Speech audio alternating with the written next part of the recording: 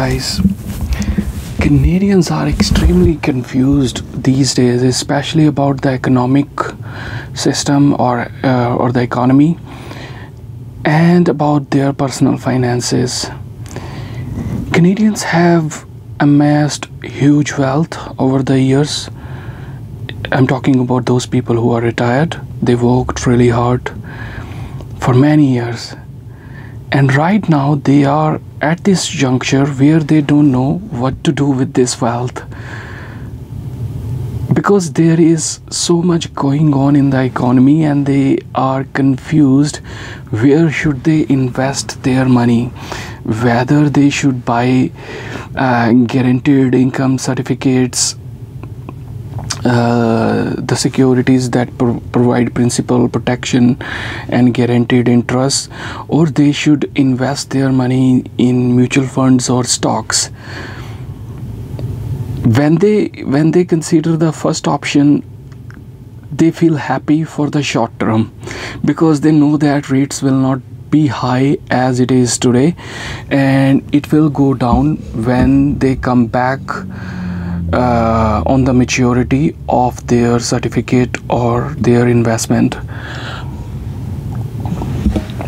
And when they when they think about investing in mutual funds or in stocks they are they are also not much happy about the state of uh, stock exchange stock market.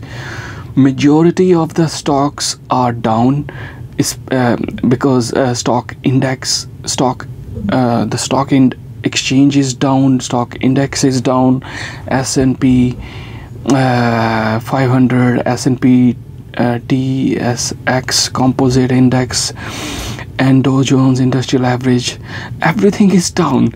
So when the financial advisors advise client about investing in the stock market then clients don't feel uh, encouraged about that because it is a challenging uh, situation right now.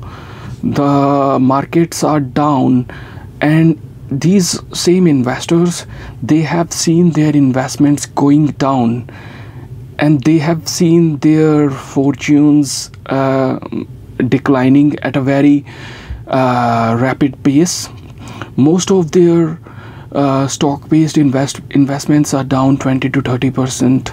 So, and if they have additional uh, funds and if you talk about as a financial advisor if you talk about investing in mutual funds and stock markets based on long term horizon it's extremely challenging to convince them and show them the value of stock market there there is no uh, point of force. It is just the education about the benefit of stock market in general.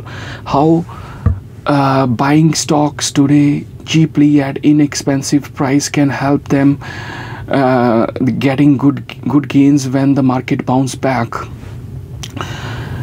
We have we we we we, we all have like uh, very fantastic charts but it is extremely challenging to uh, to convince the client and show them the value of stock market investments.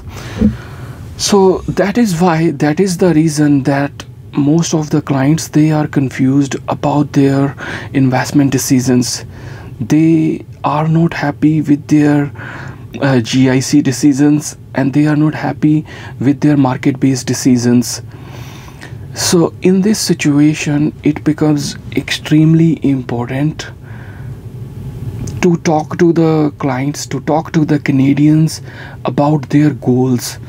So as of now in canada the banking is based on goals based on plans based on the needs of the canadians. It is not based on the uh, product selling.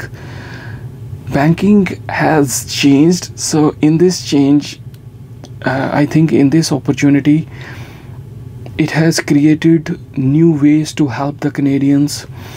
So yes Canadians will be helped but as of now they feel confused.